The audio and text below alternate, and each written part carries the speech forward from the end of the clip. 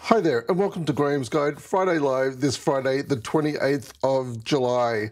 Uh, great to have you here. And um, today we're going to be looking at types of sources. Um, I'm just going to grab a type of source quickly. Um, this is a, a journal. Um, it's the Journal of the Victorian Historical Society. And uh, you can see it's published by the Royal Historical Society of Victoria and it's got the volume, the number, and the date um, of this particular journal.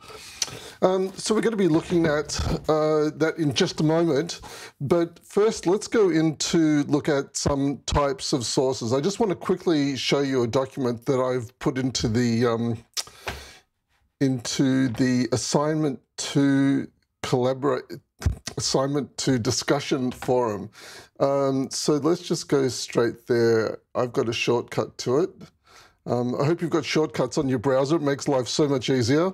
Um, so I'm going to go to Learning Group 12, and I'm going to go into Assignment 2, Q&A. And uh, if you scroll down here, you'll see that I've provided lots and lots of um, guidance here um, too much to go through in, in one session. Um, you just want to go through these bit by bit, maybe even um, one at a time. Um, you'll see here that I've provided a structure, um, a suggested structure for how you can structure assignment two. Um, but the most critical piece of advice I can give you is to watch this video here, the assignment two video. I recorded this um, a couple of teaching periods ago, but um, the students found it very useful, uh, and I'm sure that you will find it useful too. So make sure you watch that assignment two video. You will find it very helpful. But we're talking about types of sources today, and so up here, um, let's just go back to the top of the page. Sorry about that um, and scroll down until you get to frequently requested sources. And here you can see types of sources. So I'm going to click on this and open up the types of sources document. This is a document I put together um, a few years ago as well. I found uh, I found this document here. You can see at the top I've got a link to it. Um, and I liked it so much that I recreated it especially for the students of this unit. And uh, what it does, it lists here on the left um, the most uh, credible and reliable sources for academic writing, and they become less credible and reliable as you go across the page. Now, that's not saying that um, these sources are not credible and reliable. It's just that they're um, in academic writing, the bar is set very high. And we're going to talk about peer review in a moment, and you'll see how high the bar is set for credible and reliable sources. Um, now, the internet is also listed here. It's on the right hand side. It's not because it's the most least credible source, it's because it contains everything from the least credible to the most credible. Um, and you can see I've provided some examples. So in each of these categories, um, academic and other nonfiction books, here I've got scholarly and research journals. So this column's talking about books, this top column's talking about academic journals. Uh, then the next column's talking about um, professional and trade journals.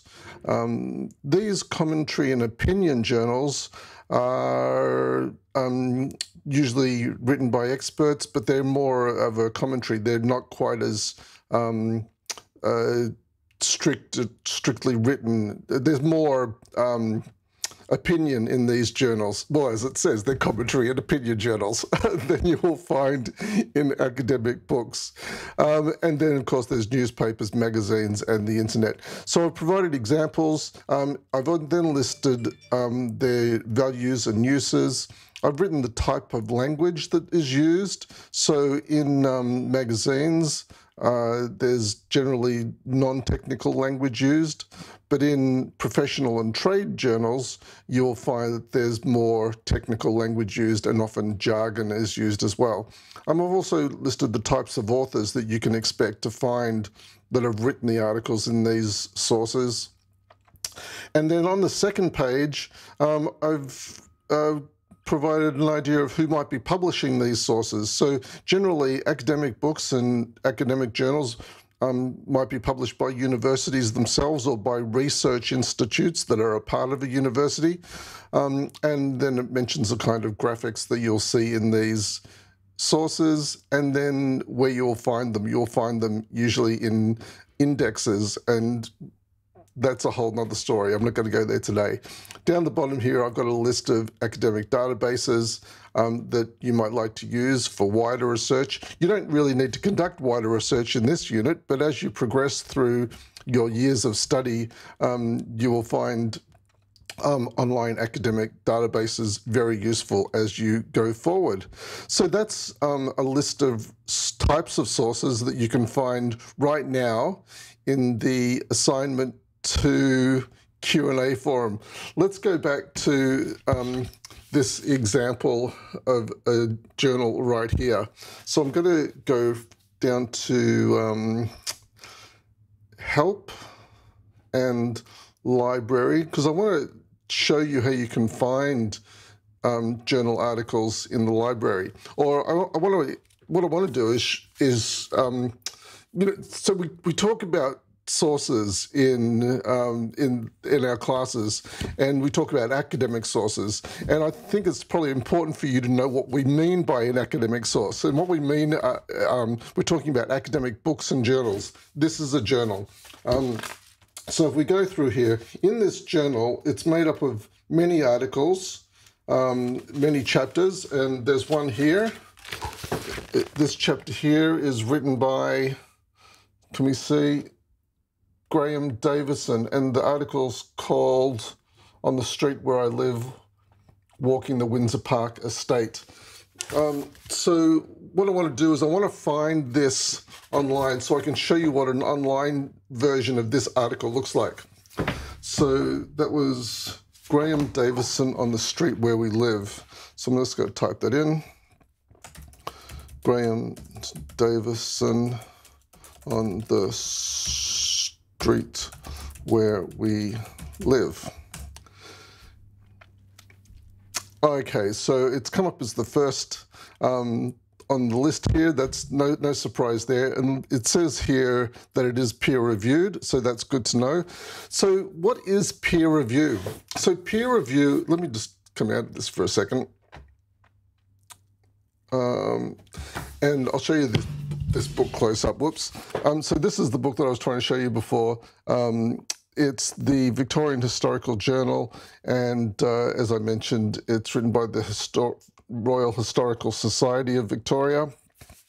And that article, I just realized it was on the tiny screen. You weren't able to see the title of it at all. So I'm going to show it to you. This is the title. I can't believe I was showing you that on my tiny little screen. So that's the title, and that's the author of the one that we're looking up. Um, so what is peer review? Peer review is um, it's a it's a type of quality control that's used in academia to make sure that the uh, the information that is shared amongst experts is of the highest quality and credibility.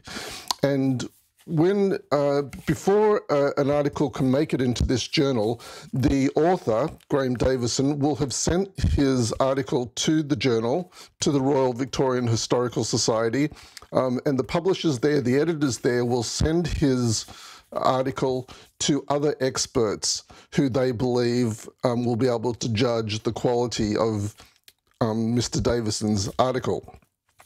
So, depending on what those other experts um, report, the article may or may not make it into the final book.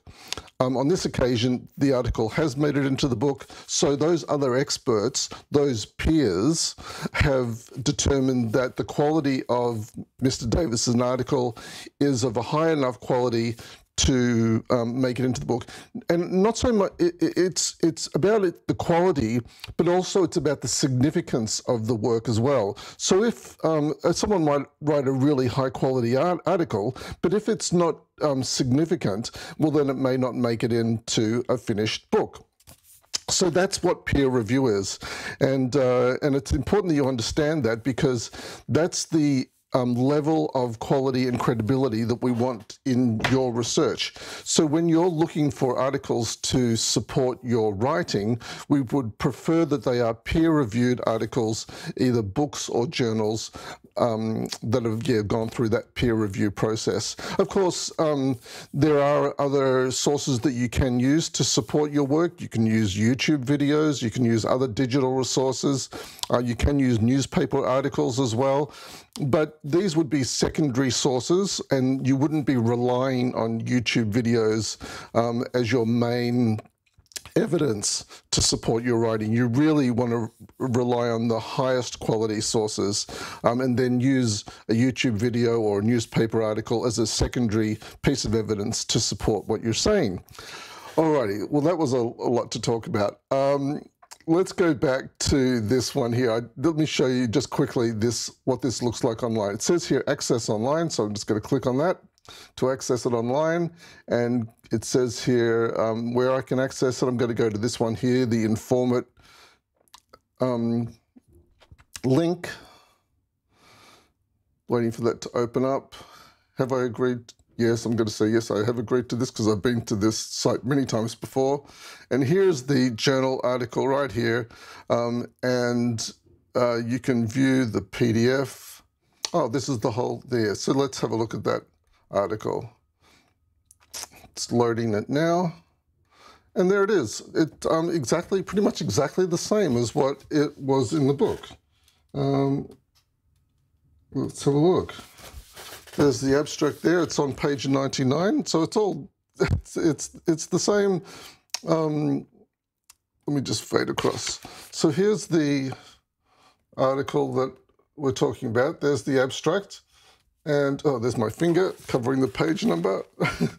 and uh, ah, take my word for it, the page number is 99, and here it is on this as well. So you can see that these online journal articles are electronic versions of physical documents. Um, and so that's another thing that's important to take note of when you're um, formatting your reference list, um, make sure that you cite what you have seen. So, um, yeah. So, for example, if you if you have a, a, a, a you want to cite something, make sure that you have read it. So, cite what you have cited, if that makes sense. Um, we can talk more about that in the discussions. All righty, let me get out of here now. Where do I want to go? I think I've gone everywhere. What's on our list? Peer review, citing, referencing. Ah, the unit re reference list. Let me take you to the unit reference list before we finish up. Um, how can I get there? We'll go to the modules page. And if we scroll to the very bottom of the modules page, here is the reference list. I've shown you this before. Um, there's the week one references, but now you've done, it was week zero, sorry. Here are the week one, week one references. Here's that important reading that I steered you towards, Future Work Skills 2020. In week two, um, there were um, two important references that I steered you towards. Um, one was the Dr. Chu videos, excellent viewing. I highly recommend it, this video series, Dr. Chu videos, and also the Livingston article on meta metacognition. So those two um, sources are, are important um, to uh, be on top of. And then in week three, um, these three articles here I highly recommend the McDonald reading, the Mishra meeting. Now, in um, the week three uh, discussion board, you'll see that I'm referring to the Mishra article in everybody's response that I respond to, because I want to draw your attention to um, these peer-reviewed um, sources because these are what we hope that you will use in your um, assignments uh, two and three. You may not use these in assignment two, because that's a little bit different. In assignment two, you probably will use Baldovino um, because you're going to be talking about uh, language registers, and so you'll need to cite someone on language registers. Just quickly before I go, let me go into um, back to that, uh, that back to where I was um, because I want to show you another reference for week four that I'd like you to read. Okay, let's go into group 12 and then I'll finish this video and you can go on your merry way um, into week four. No, that's not where I want to go, is it? No, I want to go to the, sorry, I want to go to the assignment two forum. Okay, this is where we were before. This is where I showed you that types of sources. But down here, where I talk about the structure for um, assignment two, I've included an additional reading um, for Brown.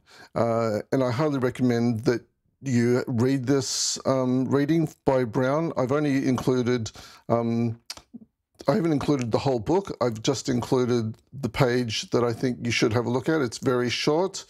It's just this one page here, um, but it talks about um, language registers and uh, language styles. So I recommend you have a look through that. Where are they? Here they are.